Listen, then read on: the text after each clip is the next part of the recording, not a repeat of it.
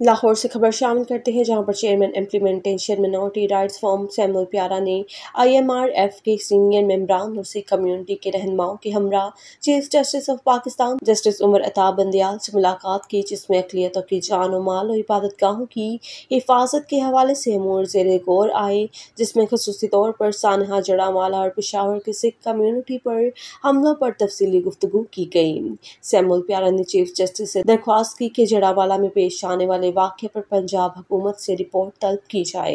एक बार फिर आपको बताते चलें कि chairman implementation minority rights forum Samuel Pyara ने आईएमआरएफ के सीनियर मेम्बरान और सिख कम्युनिटी के रहनुमाओं के हमरा chief justice of Pakistan justice Umar Ata Bandial से मुलाकात की, जिसमें अकलीतों की जान माल और इबादत गाहों की हिफाजत के हवाले से अमूर जेर गौर आए, जिसमें खसूसी तौर पर सानहा जड़ा माला और पिशावर की सिख कम्युनिटी पर हमलों पर तफसीली गुफ्तु की गई। सैमुल प्यारा ने चीफ जस्टिस से दरख्वास्त की कि जड़ावाला में पेश आने वाले वाक्य पर पंजाब हुकूमत से रिपोर्ट तलब की जाए।